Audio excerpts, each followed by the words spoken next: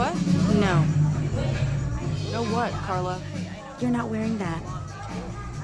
I just came from work. I came from Toledo. I don't dress like it. Is Jamie here? Okay, look, keep the coat on, take the shirt off underneath. And flaunt my breasts. I'm not here to peddle my wares. Why else would you be here?